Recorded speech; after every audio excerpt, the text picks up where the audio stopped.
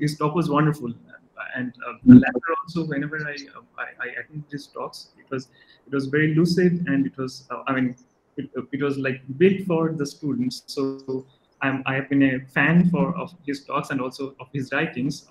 After I read this, I mean actually it was an exposition. So it was about the primes. If you expand it in, in any base and convert the base to any, um, in, I mean, base to a variable, it becomes a irreducible polynomial, and that it was it's called Cohn's, uh, Cohn's criterion. No, I forgot exactly Cohn's theorem or Cohn's criterion, but it's it's it's a, it's a beautiful theorem, and he's his proof. Uh, he gave a beautiful exposition of this. So so um, and also, there are many good books in analytic number theory by, by Professor Ram Murty, except um, uh, um, very brilliant uh, research articles. Like um, the books which are very useful for students in analytic number theory are the problems and uh, problems in analytic number theory and their um, I mean non-vanishing of L function, which is a, um, a, book also written by Professor Kumar Murty and uh, and him jointly, is is is a, a wonderful book from Birkhäuser. And I actually, um, uh, when I was a PhD student, I uh, usually visited his homepage, and there was a there was a uh, there was something called um, um, how to do mathematical research or the art of doing mathematical research, and this was something that I, I like to read from his homepage. I mean, it was kind of motivating uh, while I was doing my research. So yeah, I, I have been a, a, fan of Professor Ram Murty for a long time, and it's a pleasure to introduce him to, to the to you for, for this talk. So Professor Ram Murty, over to you. Thank you. Thank you. Thank you very much. Uh, thank you very much, Soumya, and thank you, uh, the organizers of this uh, meeting. Now let's see. I think I have to do something to share my screen. What is the, what is the, oh, is it this, this thing? Maybe it's this thing. Uh, a window. Okay. Um, select window. Uh, let's see. Now, can you, can you see this? Not yet. Oh, yeah, right. We can. Yeah, we can see. Okay. okay. Um, let's see. How does this, how does this work? Uh, okay. So supposing I were to scroll, let's see. Do I? Um, is it full screen mode or no? I don't want to do full screen mode because I can't see anybody. I, I know how this Google Meet works, and I've not um, been happy with the interface because when I put in full screen, I lose everybody. And uh, can you see what I'm showing? Yes. Yeah, yeah, yeah. You can see that? Okay, so can I just, should we just keep it like that? Let's yeah, see. it's all right.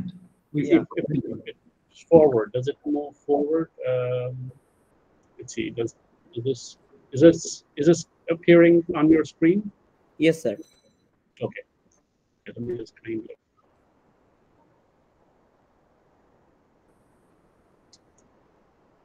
Let's see which one of them.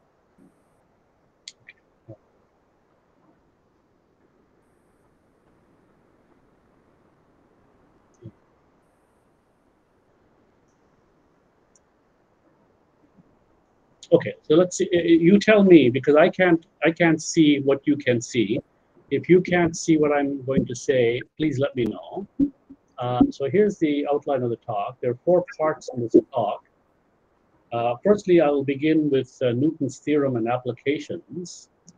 Um, second, I will uh, discuss the Anand-Dumir-Gupta conjecture and how commutative algebra entered into the realm of combinatorics.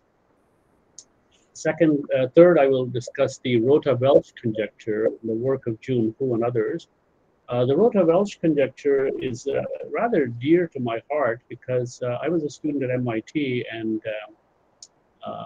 Giancarlo Rota, uh, you know, was one of my teachers, and uh, in fact, we collaborated and wrote a paper while I was a graduate student. And at that time, he was trying to get me to work on his conjecture. And in some sense, perhaps, maybe I maybe it's fortunate that I did or didn't. I don't know. Um, obviously, it it requires uh, quite a bit of artillery uh, from commutative algebra, from algebraic geometry, and so on and so forth. So that's uh, one of my real motivations for trying to understand uh, June Huh's work. And finally, uh, of course, uh, one of the problems that is very close to my uh, heart uh, is uh, uh, the study of the Riemann hypothesis, and uh, there's quite a bit of connection, intimate connection to the Riemann hypothesis and what are called Jensen-Polya polynomials, which I will discuss at the very end of the talk. So in this process, we will be connecting many areas of mathematics ranging from number theory, commutative algebra, algebraic geometry, and combinatorics. And I think that's one of the most beautiful aspects of this particular topic. Now, clearly, um, because it, the talk encompasses all of these uh, beautiful areas of mathematics, and I can't say I'm an expert in any of them, uh, so there will be some um, uh, perhaps lapses in my detailed understanding of various things, but uh, that's the fun of it, I suppose. And uh, certainly there's some experts here who can probably fill in uh, some of the details if I'm stuck. So for, let's begin then with um, a basic question. Uh, the title of the talk is Unimodal Sequences from Isaac Newton to June Huh. Uh, so the first question is, uh, what is a unimodal sequence? Uh, a unimodal sequence is a sequence of numbers a1 to ak such that there's an i such that it goes up to a sub i and then comes down after that. So that's what a unimodal sequence is really.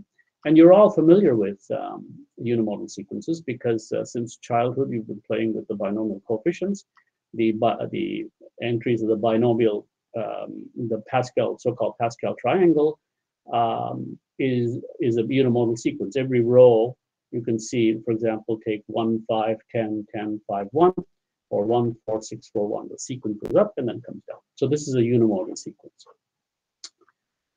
And then we, we say a sequence is log concave uh, if you have the property that ak squared is bigger than or equal to ak minus 1 times ak plus 1 for all the intermediate uh, points from a, a2 to an minus 1. So now it's relatively simple to see that if I have a log concave sequence, then I have a unimodal sequence because if uh, suppose it's not unimodal, that means uh, there must be, a, you know, it, it didn't go up and it didn't come down. Therefore, there must be a k such that ak minus 1 is bigger, and then ak plus 1 is, is and it's, ak plus 1 is also bigger.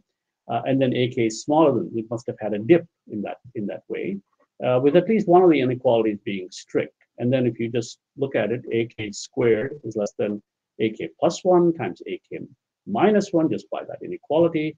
And one of the inequalities has to be strict, therefore you get a contradiction. So log concavity property or log concave property um, is implies unimodality. So uh, people have been making conjectures about unimodality of certain sequences, and it seems, from all from my uh, humble understanding, that the stronger property of log concave uh, property seems to imply, uh, it seems to be easier to, to prove uh, in, in many ways because it has a certain conceptual um, connection. So the sequence of binomial co coefficients is actually log concave because you just do the thing, n choose k squared, you re rewrite that as n choose k minus 1 times n choose k plus 1 times these fudge factors, and you immediately see, yes, it's log concave. So not only is the binomial sequence, binomial coefficient um, unimodal, but it's actually log concave, which is a stronger property, and it's, it's easier to prove. And so we'll focus on this stronger property. So yeah, so and as I said, it's sometimes easier to prove the stronger property uh, for conceptual reasons, and that'll soon become apparent. And it's interesting that these uh, sequences play a major role in many, many parts of mathematics. Uh, so what does Isaac Newton have to do all with all this? Well, uh, Isaac Newton is, of course, well known for his uh, contributions to physics, notably the laws of universal gravitation and optics, as well as his discovery of the calculus, method of fluxions, as he called it. However, he has many other important contributions to pure mathematics that are less well known. For example, he has this beautiful theorem, which I'm going to discuss right now, on log concave sequences, which is derived from calculus, and that is not well known but seems to be very important in uh, combinatorics. So prelude to Newton's theorem, before we st state and prove Newton's theorem, that may help to review some basic calculus, especially Rolle's theorem, especially because if I understand this club, math club, uh, it's quite possible that there are a number of undergraduate students in, in the audience, and therefore to keep it kind of uh, prerequisites as minimal as possible, I will review Rolle's theorem. Uh, so if I have a continuous function, differentiable function actually, uh, in an interval, it crosses the x-axis at A and crosses the x-axis at B, then Rolle's theorem says there's an intermediate point where the derivative is zero.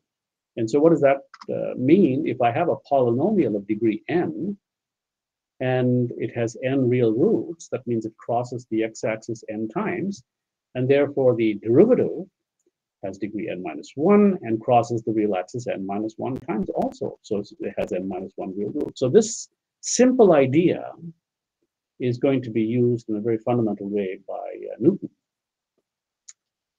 Uh, and notice, by the way, the geometry of that previous statement. So this the geometry. So it's one thing to say a polynomial um, of degree n has n roots, but it's another thing to say this polynomial crosses the real line n times. That's a geometric representation. So this interface between interplay between um, geometry and algebra is a very important feature of much of what I'm going to discuss uh, today.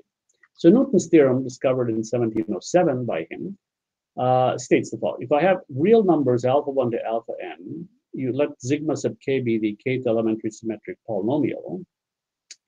So sigma 1 is just the sum of the roots, sigma 2 is the sum of the product of the roots taken two at a time, and so on and so forth. And the final one is, of course, all the product of everything. And uh, what Newton does, he writes this in a funny way. He just puts sigma k to be n choose k times a sub k.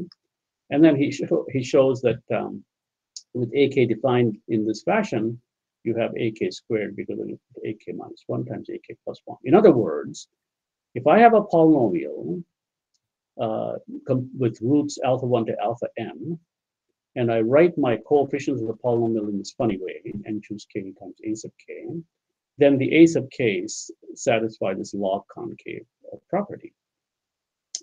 And uh, this theorem has wide applicability. Uh, it certainly applies to the binomial coefficients because the binomial coefficients appear in the expansion of x plus 1 to the n. So we now see again a beautiful generalization of something usually dismissed as being obvious, that you have a very profound generalization to the realm of uh, these polynomials.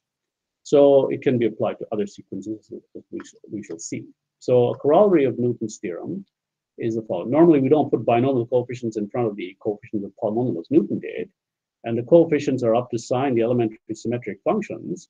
And so we can reformulate a Newton's theorem in terms of the usual coefficients.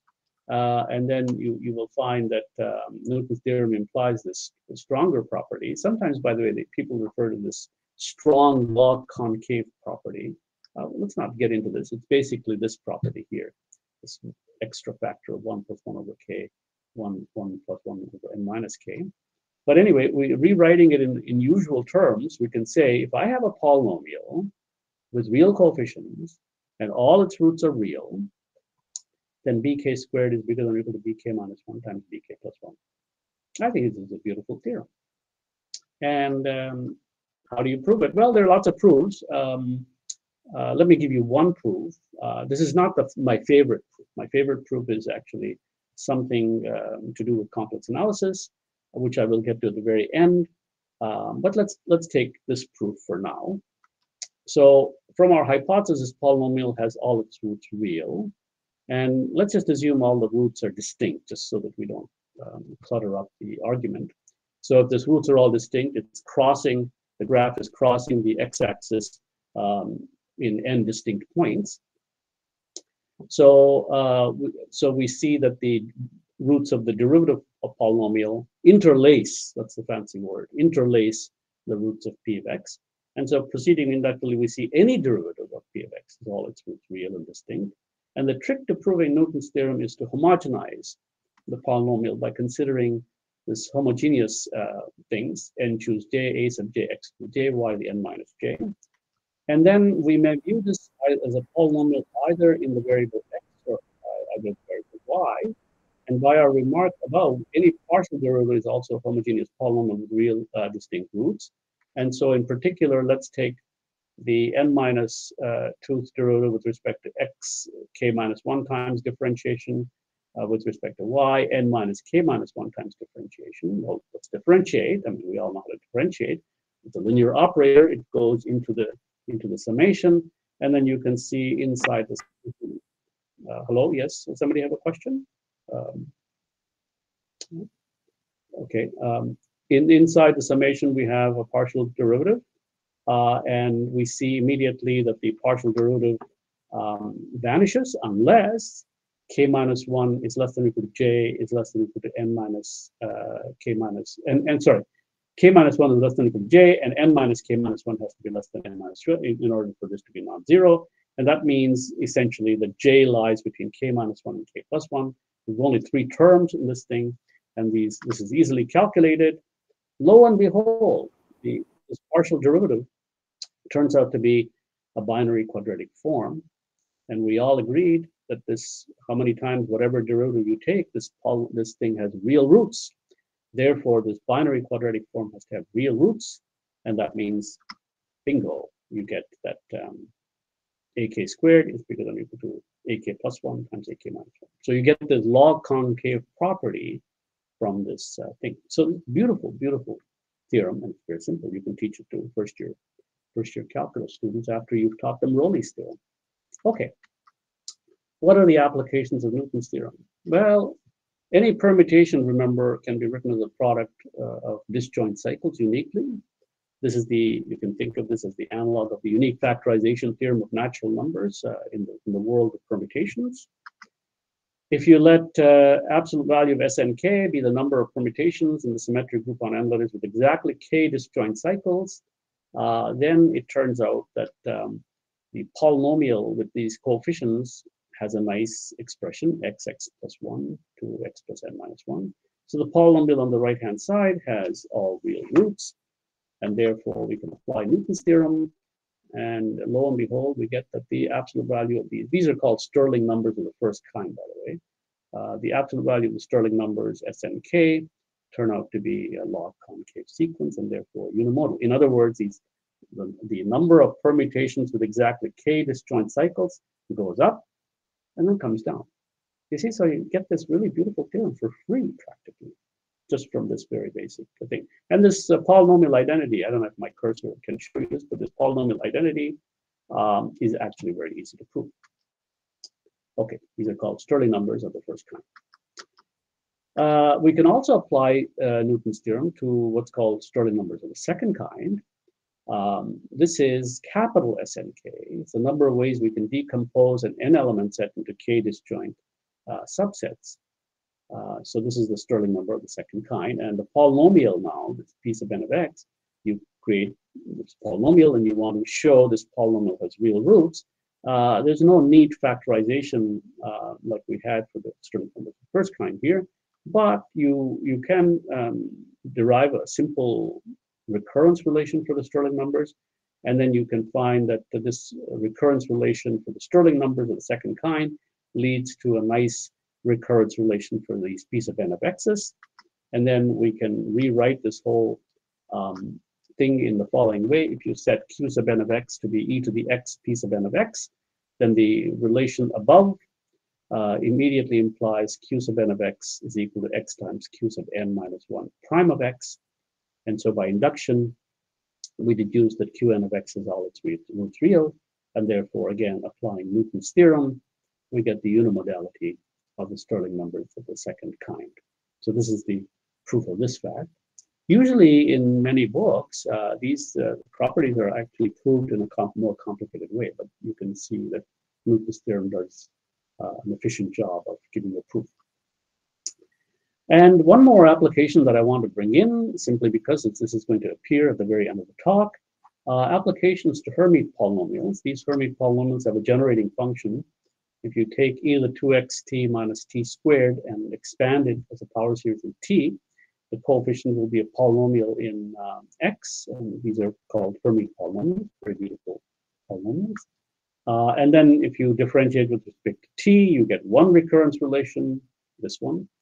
And if you differentiate with respect to x, or, or you or do something else with the, you know, if you multiply both sides by e to the minus x squared, you see that this series can be written as e to the minus x minus t whole squared. And differentiating this equation with respect to x, comparing coefficients, gives you another relation, namely that uh, the partial, the, the derivative e to the minus x squared h n of x turns out to be e to the minus x squared times h n plus 1 of x. Now, you can apply the induction argument, which says that um, if hn of x has all its roots real, then any any any derivative also has roots real, therefore hn plus 1 of x is also has all its roots real. So exponential function never vanishes. So easy uh, induction argument now reveals that all the roots of hn plus 1 of x are all real and interlace those of hn of x.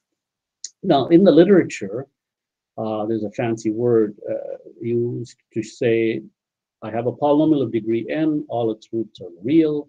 The fancy word is hyperbolic. So polynomial with real coefficients and all its roots real is called hyperbolic in the literature. Okay, so keep that word in mind. And now let me come to the second part of this talk, the Anand Dumir Gupta conjecture. Now, in a seminal paper by Harsh Anand, Viswa Dumir, and Hansraj Gupta written in 1966, a simple question and conjecture were formulated that inspired the development of commutative algebra with a view to applications in, in combinatorics.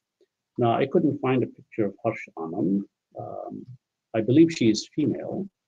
Uh, then there's VC Dumir, um, who was at, Punjab University, who I, I did meet. Hansraj Gupta I've never met, um, but uh, he was also at Punjab University. And uh, their question was very simple. Suppose I have n object, distinct objects, each available in R identical copies and they're distributed among n persons in such a way that each person receives exactly R objects. How many such distributions are there? So this is a very simple question. You can also think of this as a, some sort of weighted chromatic polynomial coloring problem of graphs. Uh, and the precise version of the conjecture uh, that's made in their paper is that if you let h sub n of r be the number of such distributions, they conjectured that firstly, h sub n of r is a polynomial in R. The degree of this polynomial turns out to be n minus 1 squared. This is their conjecture. And that h n of j turns out to be 0 when j is minus 1, minus 2, etc., etc. And then they uh, hypothesized a nice, beautiful functional equation, hn of minus n minus r is equal to hn of r with a sign minus 1 to the n. So another way of thinking about this is via systems of linear Diophantine equations. You can also interpret it as the number of n by n matrices, Aij, with non-negative integral entries such that the row sum and the column sum turns out to be the same number R. So that's another way of thinking about it. And uh, these ways of thinking about these things are useful, as you can see in a, second. Now, Stanley, Richard Stanley, um, uh, wrote two papers on, on this conjecture in 1973 and 76.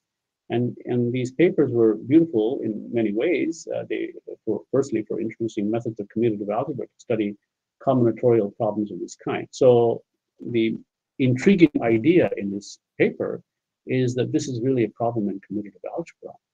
And so, you know, as many, one, many of you know, in number theory, for example, conjectures are often um, sources of great inspiration and, and, lead to the development of mathematics by at an exponential rate. Um, and from, from, Fermat's last theorem, for example, is a case in point, which led to the rapid development, exponential development of algebraic number theory. In many ways, the interface between combinatorics and commutative algebra was um, uh, expedited uh, by this conjecture. So what did Stanley show? He showed that if you form a power series with these coefficients, then uh, the conjecture is actually equivalent to saying that the power series is rational function. That the denominator looks like 1 minus t to the power n minus 1 squared plus 1. And that the, the uh, functional equation that uh, they had alluded to leads to the uh, hypothesis that these coefficients h sub i are symmetric. And so, uh, imbued with this insight, um, Stanley made a few more conjectures in that book. Um, first, that the HIs are always non-negative, and then the second, that the HIs are unimodal. Aha, unimodal. Um, that's what we started off with. So how is unimodality shows up again here. And uh, it's interesting that uh, the key idea in Stanley's work is to interpret this power series as the Hilbert series of a certain graded module. And then there's a famous theorem called the Hilbert-Serre theorem that if you have a finitely generated module, um, the Hilbert series is actually a rational function, and you can also tell what the denominator looks like. So using that, uh, and some other things too, uh, Stanley finally proved all these uh, beautiful uh, parts. The, the conjecture, um, the history of this um, develop, these developments um, uh, are nicely exposed in uh, Professor Jugal Verma's uh, paper uh, in Mathematics Student in 2013. So, by the way, uh, I'm one of the editors of Mathematics Student, so I, I invite people, if they have um, beautiful expositions of complicated mathematics, I think this is the place to uh, put that, and, and, this is a case in point where um, this conjecture is discussed. Okay, now let me move to the third phase, uh, try to describe June Huh's work um, uh, related to chromatic polynomial of graphs. Now, most of you know uh, that if you have a graph n vertices, no loops, uh, we love loops and multiple edges rather, uh, proper coloring of G is an assignment of colors to each vertex, so that no two adjacent vertices receive the same coloring. And uh, in 1912, Garrett Birkhoff defined chi G of lambda to be the number of um, proper colorings of G using lambda colors. And there's a familiar operation in graph theory called the deletion contraction operation. It can be used to show that chi G of lambda is actually a polynomial of degree n in the following way. If E is an edge connecting two vertices, adjacent vertices, the graph G minus E is the graph obtained by deleting the edge and the graph G slash E is the contraction of the same edge. And so whenever you have a proper, co uh, proper coloring, it can be obtained by extending a proper coloring of G minus E. And every time that there's a bad coloring, that means the two vertices that were joined by um, E got the same color. That means you really, that really collapses to a color of G mod E. So you take away those colors. So this is a very simple um, sieve idea, inclusion uh, exclusion operation.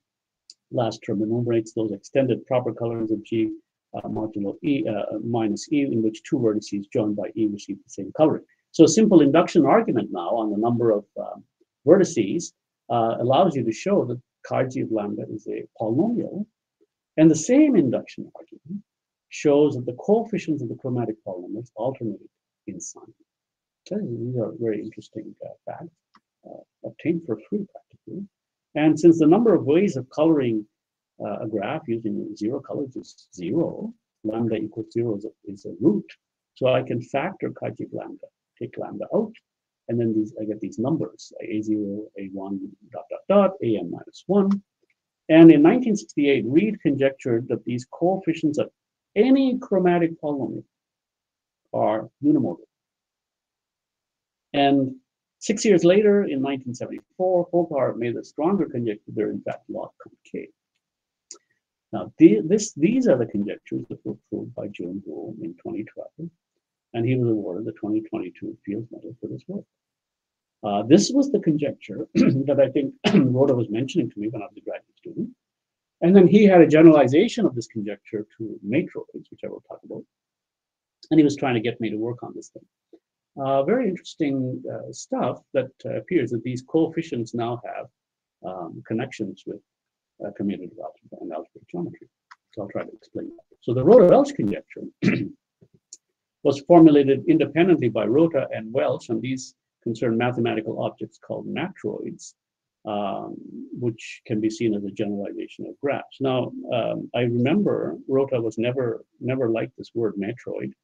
Uh, his word was uh, combinatorial geometry. So he, he thought that um, just as you have algebraic geometry, you know, which is coming from um, solutions of equations of polynomials over, uh, you know, fields, etc., which is a basic object of study in algebraic geometry, he wanted to say that there's something called a combinatorial geometry where something similar is happening, but you're getting it from the combinatorics of an arrangement of points on the plane, points and lines, etc., etc. So these this so he wanted to actually use the word combinatorial geometry as a parallel uh, universe to algebraic geometry. but anyway, this this word matroid has seems to have stuck. Uh, so the concept of matroid actually goes back to Hassler Whitney in 1935 as an abstraction of the notion of linear independence that arises in the theory of vector spaces. And there are several ways of uh, defining matroids. Um, here's one way. A matroid M is a pair where E is a finite set and F is a collection of subsets. And these collection of subsets are called independent sets. And so what do we want independence to satisfy? Well, we want the empty set to be independent. And every subset of an independent set should be independent. And then thirdly, if A and B are independent sets with the cardinality of A less than cardinality of B, there has to be an element in B, call it X, such that A union X is also independent. So you see this kind of idea of abstraction, very powerful idea in mathematics, where you look at the obvious and you see the extraordinary in the obvious. And by seeing the extraordinary, you axiomatize and end up with this remarkable structure. And then you can go look for this structure in many, many problems. And this, this these problems being no exception.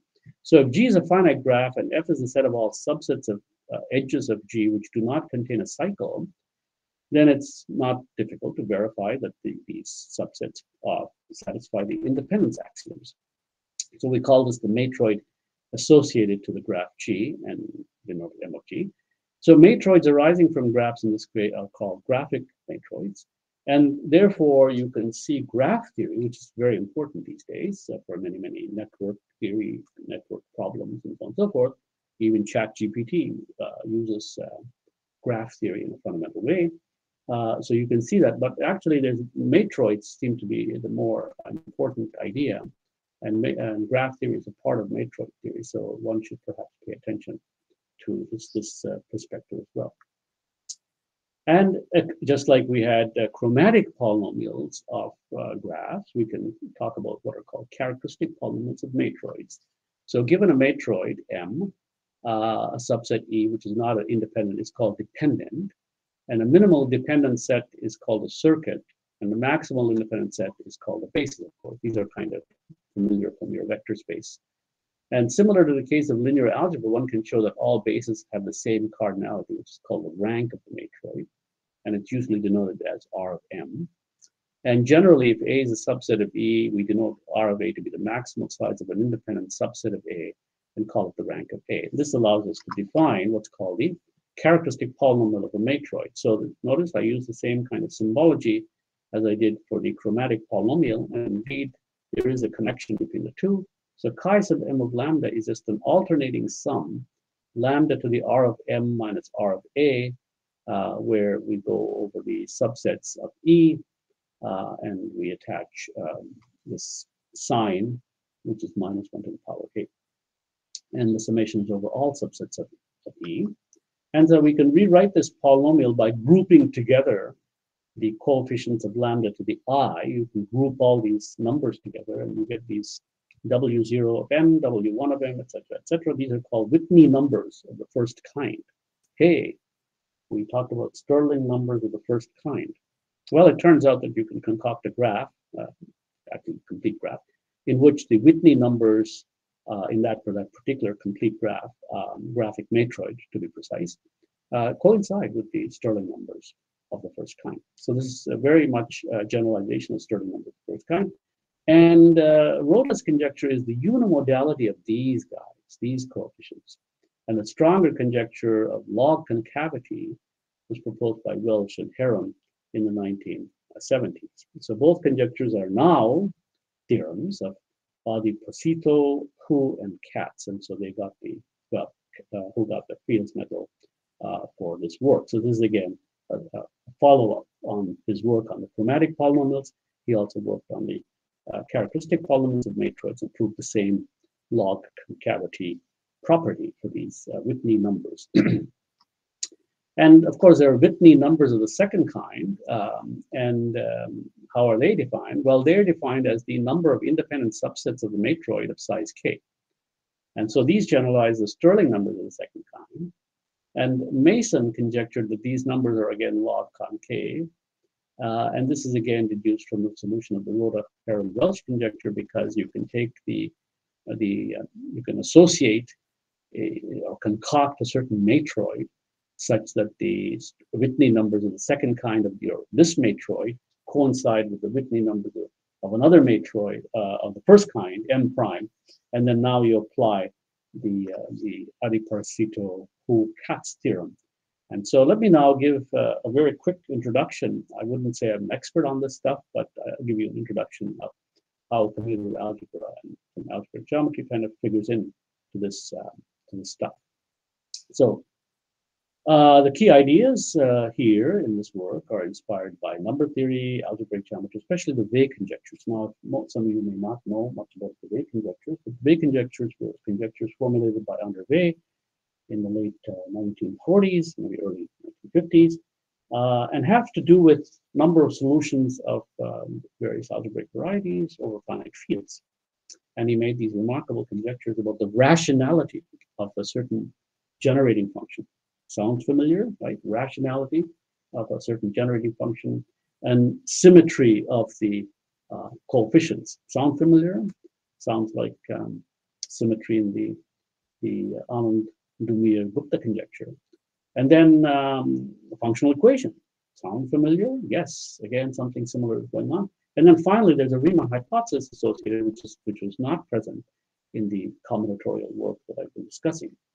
So the Weil conjectures were actually proved by Deligne in 1974, utilizing cohomology theory of algebraic varieties. I wouldn't say I'm an expert in all those things. Uh, this theory is nothing uh, but associating certain vector spaces to a variety with some functorial properties, and we will give an abstract description now. So I, I do, I did downplay it. I said this is the theory is nothing but. That's a, that's a kind of an oversimplification of, of, the, of the matter. Um, rather, perhaps it is better to say that there is some sort of structural similarity in the way the solution to that, those problems have been set up that uh, have been abstracted in the, the program that Huh had embarked on. And that abstraction is what uh, Huh uses in his reformulation of many of the questions in combinatorics, uh, Rota-Welsh conjecture, the, the Read-Hoggar conjecture, etc., etc. So let me just say there's a linear algebra paradigm. This is a word that I didn't make up. Uh, this was a word used by Stanley in his book. Uh, suppose you want to study a sequence of numbers a0 to an of non-negative natural numbers, and you want to prove that it's unimodal, symmetric, and log concave. The problem will gain an added dimension if you can associate vector spaces, v0 to vn, and linear maps, some sort of inclusion maps from vk to vk. It's one such that maybe the dimension of vi is ai, with phi k is injective and vi is isomorphic to vn minus i. So you see here, here is here it is. Here's your unimodality. Here is your symmetry. Uh, here is you know interpretation of these numbers as um, dimensions of vector spaces. So then the sequence is clearly symmetric and unimodal. And this is the idea. But instead of talking about a single, a bunch of single vector spaces, you can try to build all these, paste all these vector spaces together into some sort of graded vector space and a single linear transformation. And uh, this is just a simple notation, change of notation of the above paradigm. And the paradigm underlies the work of Deligne as well as the work of Huh and his co-authors in their solution of these famous conjectures and combinatorics. So what is their general formalism? Well, in his uh, solution to the Read-Hoggar conjecture, Huh identified this formalism inspired by these developments uh, you begin with a mathematical object, call it x, to which we associate some sort of dimension d. And for example, x can be the algebraic variety of dimension d over field f. Often it is possible to construct some sort of graded vector space over R that has a decomposition as a graded ring, often a cohomology ring of sorts. And uh, then there's always a lurking in the background, there's a symmetric bilinear pairing called T, um, taking pairs of elements of A of X into R. a graded linear map on each piece, call it L from aj to aj plus 1, which is symmetric with respect to the bilinear pairing P. And the linear map L usually comes as a member of a sort of a convex cone. Um, a convex cone is, you know, it's it's it's uh, it's a it's a set of elements which are closed under this convex addition operation. You know, lambda alpha plus one minus lambda beta type of uh, operation. So you have uh, this convex cone of operators on A of x, and the letters capital P, capital L, capital K have been deliberately chosen to suggest the names of Poincare, Lefschetz, and Kähler, uh, which are familiar names and familiar uh, ideas in, in um, algebraic geometry. So the following properties are assumed, some sort of bilinear pairing showing that AJ's of x is, symmetric, is isomorphic to AD, AD minus J of x, uh, given by this non-degenerate pairing. Then, then you have this these uh, operators in this convex cone L1 to LD minus 2J that actually make that isomorphism um, precise, explicit. This is called the Hard-Lefschetz theorem for X.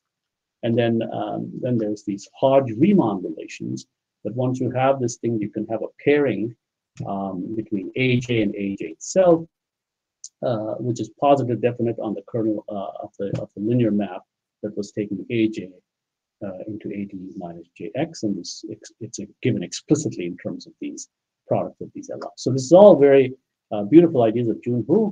Uh, these are called the Hodge-Riemann relations inspired by classical algebraic geometry.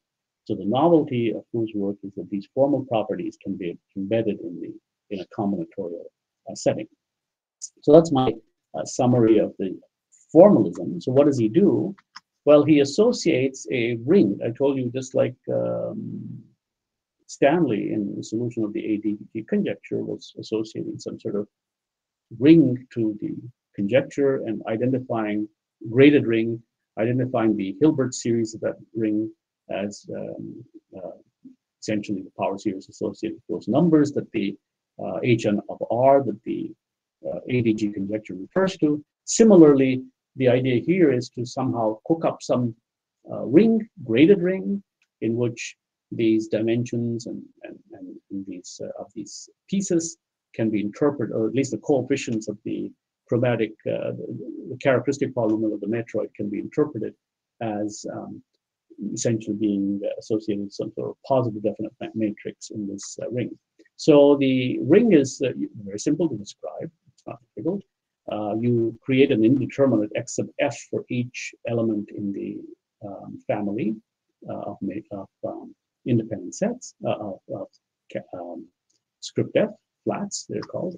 Uh, and then you say uh, if you take an a and b in e and you look at the mono the, the linear polynomial x sub f as f ranges through elements such that a is in f they should be equal to summation x sub f so this is one relation in the polynomial ring the other relation is that x sub f and x sub f prime should be equal to zero whenever f and m prime are incomparable in that in the partially ordered set of uh, flats, as I told you they're called.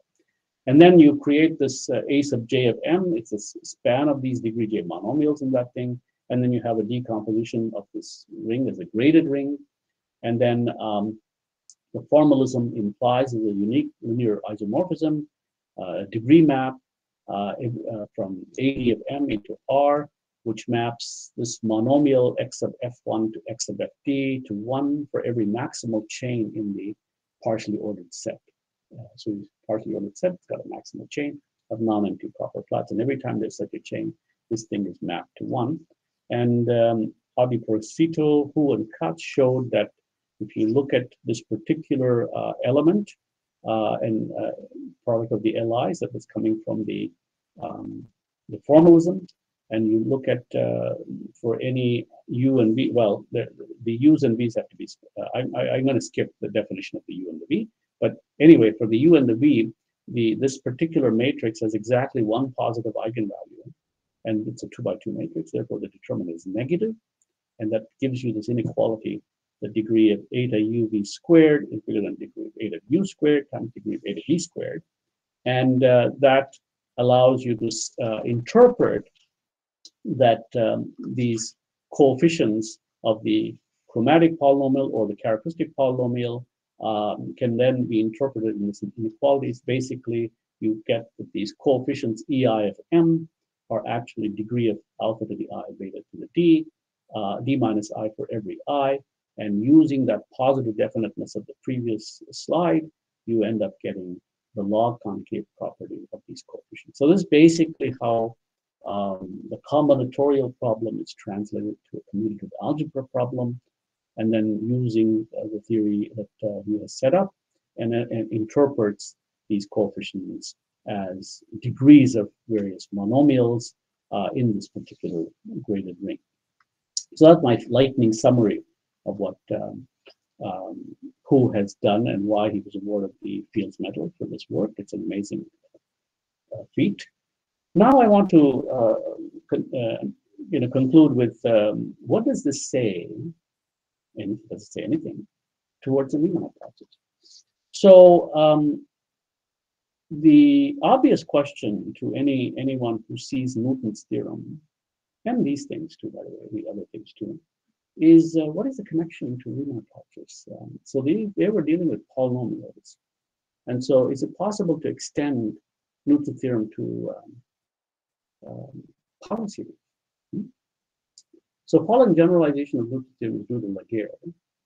Uh, he says take an entire function um, and it has to be of order one. Something that's order one means it doesn't grow too fast. Okay, that's, that's what order one means. To be precise, for any epsilon positive, the absolute value f of z is bounded by essentially e to the mod z to the one to epsilon. So Stirling's approximation to the gamma function shows that 1 over gamma z is an entire function of order 1. And um, the Riemann zeta function, defined originally as summation 1 over n s, um, you can concoct this, what's called the Riemann xi function, ss minus 1 pi minus s over 2 gamma s over 2 zeta s. And it turns out you can show that this has order 1. And uh, by the way, I should have told you that uh, Riemann showed that this function has an analytic continuation as an entire function and a functional equation relating s into 1 minus s. So here's Laguerre's theorem. Supposing I have an entire function of order less than or equal to 1, suppose for real z, f of z is real valued, and that all its roots are real. Then f prime of z is again real valued for real z, and the zeros of f prime of z are also real. So this is the generalization of Rolle's theorem to infinite power series. So if you write f of z at summation a k z to the k, lo and behold, you get this uh, log concave property. So this is what Laguerre showed. Looks awfully familiar. So what does this have to say about that? So let me just give you a lightning proof of Laguerre's theorem, and you will see the cognoscenti in the audience will see immediately that uh, this proof can also be applied to give another proof of Newton's theorem. So this proof is better in some sense uh, because it includes Newton's theorem. So let R be the multiset of non-zero roots of f of z, which may be finite or infinite f of z is order r with r equals 0 or 1. You can use Hadamard factorization theorem. I'm going to go a little fast. Sorry about this. I am going to assume that you know a little bit of complex analysis here. Uh, and also I'm running out of time. better speed up. so, uh, so you can write f of z as e to the a z z to the d times 1 minus z over a e to the r z over a, where r is the order 0 or 1. And um, you can more or less consider um, the fact that the f, since f of z is real, then z is real, all the roots are real. And uh, then you can show without too much difficulty with capital A and capital C are real. And taking the logarithmic derivative, you can write f prime of z over f of z in this fashion. And the right-hand side is real for real values of z. We immediately see that f prime of z has to be real. Taking the imaginary parts, we see that the imaginary part of f prime of z is this, and there's no way this silly thing can vanish unless y is zero. See, if, if f prime of z is zero, means the imaginary part has to be zero. Therefore, the, all the roots are actually real. So by induction, the roots of the derivative are also real. So this proof, by the way, notice it's a nice proof, complex analytic proof, and that calculus, first year calculus proof that we gave doesn't extend to this situation. So it's very important to understand this. And now, because this is negative, you get this inequality that the, how do you differentiate f prime over z? F, we all know how to do that. It's um, double prime minus f, so that's got to be negative. And this applies to any uh, thing. So if you applied for z equals zero, you end up getting log concavity property for the, at the first stage. And then if you apply to the higher derivatives, and you end up getting the, the final theorem that ak squared is equal to ak minus one times ak plus one. So this is the, this is the beautiful, beautiful theorem of Laguerre. And these results have serious implications uh, to the Riemann hypothesis. So application to the Riemann zeta function. So I told you that the Riemann zeta function satisfies this functional equation, xi of s equals xi of 1 minus s. And so if I change variables on this xi function and call it xi of 1 half plus iz, the Riemann hypothesis is the statement that this new function has all its roots real. That is, the function xi of half plus iz has all its roots real. And because of the functional equation, you have an even function and so um, you, you, you look at the power series expansion at both z equals zero. Laguerre's theorem would predict that these unimodality, uh, sorry, log concavity of these coefficients. But this is easy because it's an even function. The odd coefficients vanish. So in this case, this is more or less coming out to be cheating. Um, so you don't, you change variables and you only look at the even ones. And then the uh, Riemann hypothesis implies all the roots are real. So Laguerre's theorem would imply that gamma 2k squared is at least gamma 2k minus 2. Um, I think I made a typo there. It's gamma 2k minus 2 and gamma 2k plus 2. That should have been. Okay, sorry about that. Um, and uh, this was conjectured. So this is the basis of what's called Polya's conjecture in 1927. And Polya himself has a curious history on this on this point. So let me try to Polya. Polya, uh, very famous mathematician, lived practically hundred years. Um, in 1966, actually, Grosswald proved the log concavity conjecture of Polya for sufficiently large K. And then uh, 20 years later, Csordas, Norfolk, and Varga proved proved it for all K, thus giving some support to the Riemann hypothesis. It's interesting that the second reference I got, believe it or not, from ChatGPT. I didn't know who. I had a vague, um, you know, fragment of a memory that somebody um, improved on Grosswald, but I didn't know who it was, and I was trying to get it to tell me, and finally it did. Uh, so ChatGPT makes lots of mistakes. However, sometimes it can be useful. You better check it. Uh, in this case, it gave me this reference, which is a nice paper. So yes, this supports the Riemann hypothesis because uh, the Riemann hypothesis predicts this should happen, and bang, you know, you got it. Uh, so this seems to be a very important development. And so Polya asked himself, what further conditions are needed to ensure Riemann hypothesis? And he stumbled on this while studying uh, the Jensen's work. So how did that happen? Editing Polya's collected papers, Morris Marden has a nice uh, commentary on Polya's 1927 paper. And he says it was the outcome of Polya's findings on examining the Nachlass of the Danish mathematician J.L.W.V. Jensen, who died in 1925. 14 years earlier, Jensen had announced that he would publish a paper regarding the algebraic function theoretic research on the Riemann zeta function. In view of Jensen's well-known interest in the zeros of polynomials and entire functions, expectations were very high that Jensen would contribute to the solution of the Riemann hypothesis problem regarding the zeros of the Xi function. However, this paper of Jensen was never published, and so on Jensen's death, it was a matter of paramount importance to have this paper examined by an expert in this area. And so Professor Polya undertook this task, but after an arduous examination, he found no clue to any progress that Jensen may have made towards the Riemann hypothesis. And so he was trying to reconstruct what could Jensen possibly have been thinking. And so he came up with this brilliant, brilliant theory. So Polya derived a necessary and sufficient condition for the Riemann hypothesis. This has to do with the hyperbolicity. Remember I told you it was a fancy word to say that I have a polynomial with real coefficients and all the roots are real. So it's called hyperbolicity. Hyperbolicity of a family of polynomials of which the first one is the log concavity of the Taylor coefficients. And so here's a formal description. Supposing I have a sequence of numbers, you define the Jensen-Polya polynomial of degree n, um, sorry, degree d, and shift n by this funny summation, summation k equals 0 to d, d choose k, a k plus 1, x to the k. Notice, notice the introduction of the binomial coefficient inside that coefficient of this polynomial, like Newton was doing. So you see some great minds seem to think alike, and it seems appropriate to keep it like that. So when you actually work this out, the first couple of polynomials are, first one is just a sub n, second one is a linear polynomial, third one is, hey, a sub n plus 2an plus 1x plus a sub n plus 2x squared, quadratic polynomial, next one is cubic, dot, dot, dot. And now we see that um, um, the his theorem is that this power series has real zeros if and only if all of these polynomials have real zeros for every DNF. So the hyperbolicity of that second one is the log concavity property of the sequence.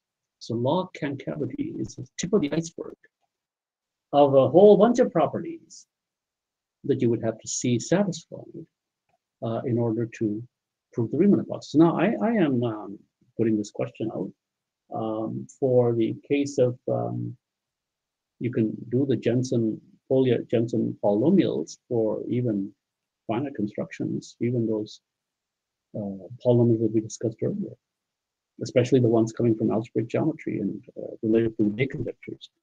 And um, one would then get uh, an equivalent criterion for the Riemann hypothesis. And the question then I'm asking is, um, what can you say about the Jensen poly poly polynomials in that the, the conjectures context? Does it show some? Can you show that the uh, these are all hyperbolic, that the roots are all real? If you do, then you have the Riemann hypothesis. Well, some recent progress toward the classical Riemann hypothesis has been made in the last few years. Let me just tell you what this is. Um, firstly, uh, the next step, I told you Grosswald, Csordas, Norfolk, and and uh, and Varga proved that that the second Jensen polynomial had roots, all roots real. The third Jensen polynomial has all its roots real was done by Dimitrov and Lucas in 2010. And the striking theorem that all for sufficiently large D, all these polynomials have roots real was proved by Griffin, Ono, Rolen, and Zagier in 2019. Very spectacular development. And two years later, 2022, Griffin, Ono, Rolen, Thorner, Tripp, and Wagner showed that for all D less than 9 times 10 to the 24th, all of these things have all the roots real. So it looks as if the Riemann hypothesis has been reduced to some sort of finite computation. Uh, indeed, Bombieri announced that these developments are a major breakthrough. That's a published paper of Bombieri that you can look at in the Proceedings of the National Academy of Sciences. But as Farmer, David Farmer points out, Jensen polynomials are not a plausible route to proving the Riemann hypothesis because uh, there's a theorem of Y.O. Kim uh, that says any entire function f of z of order less than 2, which is real on the real axis, which has zeros inside the strip, has for any fixed r the property that fn of z has only real zeros uh, inside that disk. In particular, it's not surprising that these things has all its roots real for d sufficiently large. So that's not a, so the real hard part of the problem seems to be find out what is the effective estimate coming out of the um, the uh, paper by Griffin, Ono, Rolen, and Zagier. And then you have to show all these polynomials um, uh, from zero to whatever are hyperbolic. Uh, and I believe the bound, uh, unfortunately, is exponential compared to this um, result of the 22 thing. So the fugitive Riemann hypothesis is still an elusive mystery. So I think I've more or less run out of time. Thank you very much for your attention.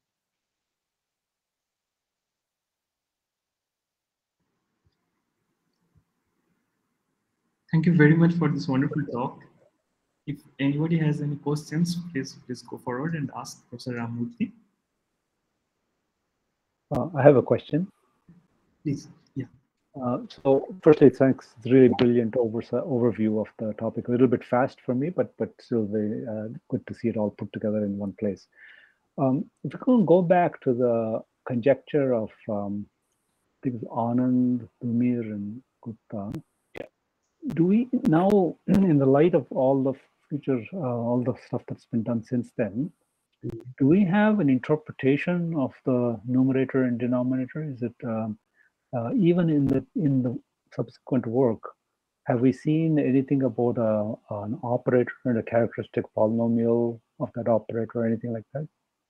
Uh, okay, so I'm going to answer it, but, uh, but the expert in the is, is Jugal, who's uh, I think in the audience. But I think, as far as I'm aware, uh, yes, that that is the idea, that it's the Hilbert series. I'm trying to find the slide here.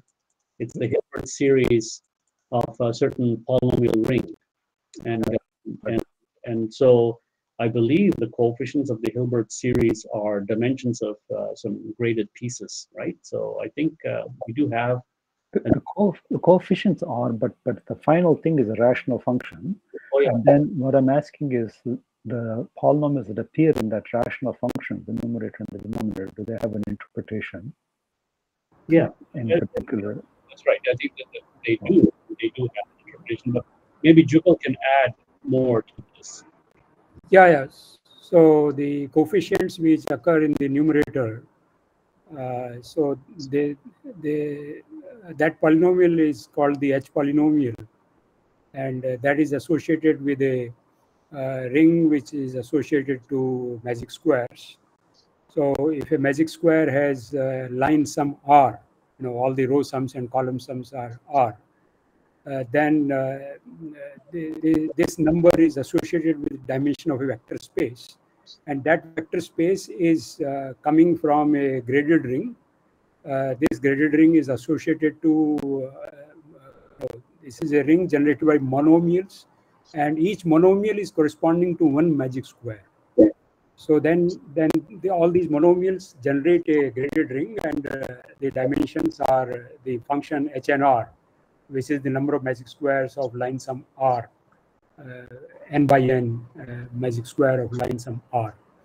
So the coefficients of the numerator uh, are also dimensions of vector spaces. So in order to get this vector space, this ring has certain dimension d. Let us say it's, and it, it turns out to be what is called a Gorenstein ring. So Gorenstein rings, they exhibit certain symmetry always. And that symmetry of hd hn minus i equal to hi is actually a reflection of the fact that this ring is a Gorenstein ring. So to get these hi as dimensions of vector spaces, one goes mod a regular, maximal regular sequence, one gets an Artin local ring. That Artin local ring is a sum of many uh, vector spaces which form a graded Artinian ring. So that's that's how one can identify those vector spaces whose dimensions are hi's, the coefficients of the numerator. So, so this description that you just gave it, it explains the, the coefficients in the polynomials that appear in the numerator and denominator. Yeah. Uh, right in the numerator.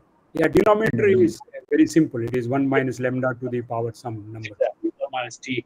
That, that was already known to Bill. Uh, that is Hilbert's third theorem. Yeah. yeah. yeah. So, okay. So what I'm still missing is there's no analog of Frobenius. There's no analog of no. a fixed a fixed uh, cohomology space on which an operator is operating. Yeah, that's what I understand. And the way what I understand, yeah, what occurs here is a Artin Gorenstein Artin ring, and uh, that is enough to predict the symmetry. But but the the log concavity requires completely different tools from convex geometry, which right. which uh, the so log concavity uh, was proved, you know, uh, just a few years ago.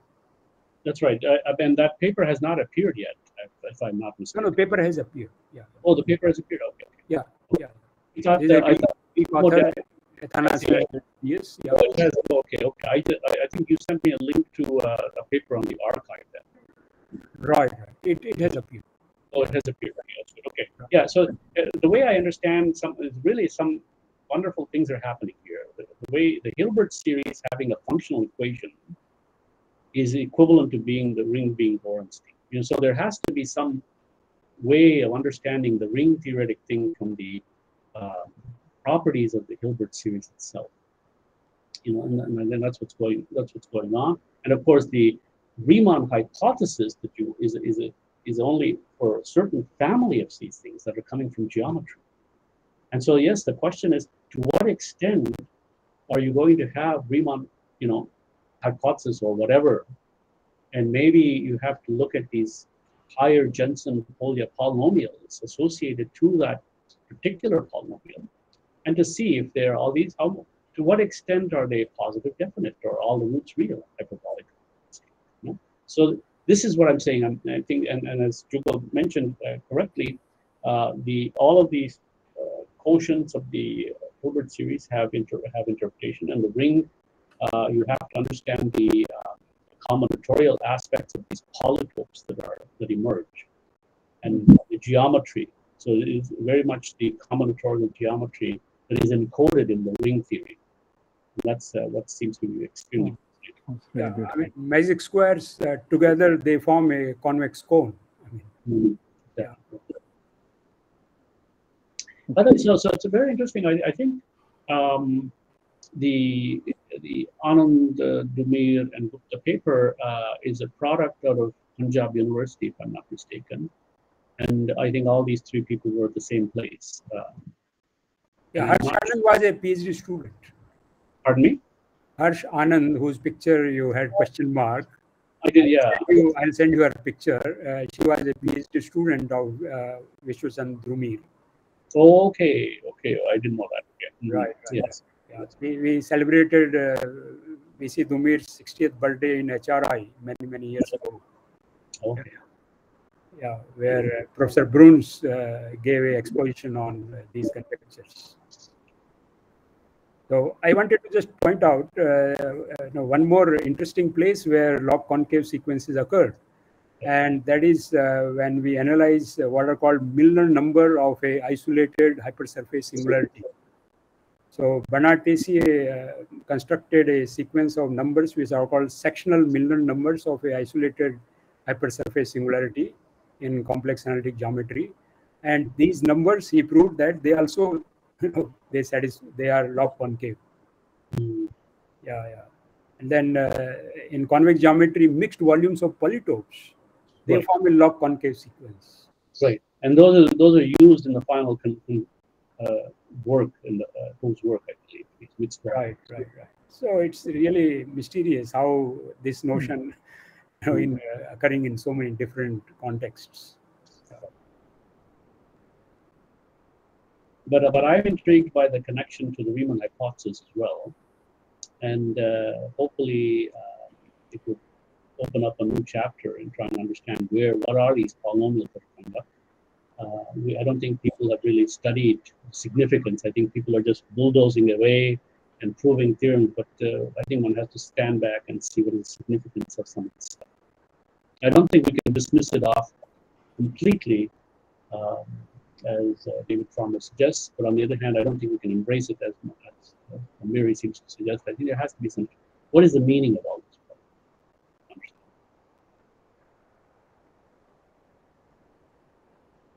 this?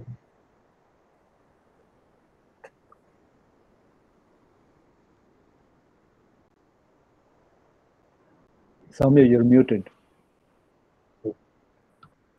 So uh, thank you. So if, if there's any more questions, please please ask Professor Ram Murty. Uh, I I would like to ask a question. Shan, please. Uh, so, uh, uh, if I'm not mistaken, uh, the way uh, you explained it, uh, you first mentioned the Anand Gupta conjecture, then you went to a went to Stanley's conjecture, which was uh, sort of a more generalized version of the Anand Gupta conjecture. Then you mentioned Roth's conjecture, which is an even more generalization. And then you said June Huh and others uh, proved the final generalized step of all these conjectures. So my question is whether uh, and June Huh, I suppose, have used the most recent and most advanced techniques in mathematics. So my question is: Are there uh, more elementary or uh, easier proofs uh, to the Anand Gupta conjecture, or the conjectures that are not as difficult or as abstract as Roth's conjecture? So Anand Gupta conjecture is much less abstract than Roth's conjecture. It doesn't use matroids and other advancements. So are there more? Are there easier ways to understand these uh, uh, conjectures that are less abstract, or is June Huh's work the only thing that we have in our hands? Okay, well, that's a good question. Um, firstly, it's Rota, Rota, not Roth. Uh, Rota's. Okay, Roth is also number theorist. Uh, no, Roth has nothing to do Oh yeah, I'm sorry. Yeah, yeah. I. I'm sorry. Yeah, John Carlo Rota. Yeah, so Rota's conjecture. and uh, yes, I believe the work of um, uh, work on the Anand Dumir uh, Gupta conjecture has been extensively simplified. And there, as Professor Varma was pointing out, there's a beautiful paper by him, actually, the math student, which I referred to, and also a paper, a follow-up paper by Bruns, um, which discusses um, essentially how one could get all this from elementary commutative algebra at the level of um, T.M. McDonald, you know, some books like that. Uh, it doesn't really use, I mean, you have to use something, but you don't need to use um, so much artillery that uh, June Huh's work is using. Um, so there's an exposition, there's expository stuff there. So that's answer to your first part of the question. You don't need to use June Huh's work in trying to solve the Anand Dumir Gupta conjecture. You don't need that. What I was trying to say is that there's a structural similarity in the conjectures and that it needed more elaborate methods. The earlier methods of commutative algebra were not sufficient. You needed a little bit more um, formalism. Formalism, very much uh, what is called the standard conjectures in algebraic geometry that Grothendieck had formulated, the Poincare duality, the Hard-Lefschetz theorem, the Hodge-Riemann relations, so-called Hodge theory, somehow entering into this picture, uh, some sort of abstract Hodge theory that was in, incorporated and initiated by Huh's work. Uh, that is ba basically what these more complicated um, conjectures regarding the Whitney numbers of the first and second kind and the matroid theory. I hope that uh, answers your question. I think in the future we can um, perhaps look forward to perhaps simplifications of some of this work. Okay, sir. Thank you. Any more questions? If not, then let's thank the speaker. Uh, thank you for being a part of identity. Thanks again, Professor Ramur. Thank you very much. Yeah, it was good to see everybody. Uh, have a good day, everybody. Goodbye. Thank you.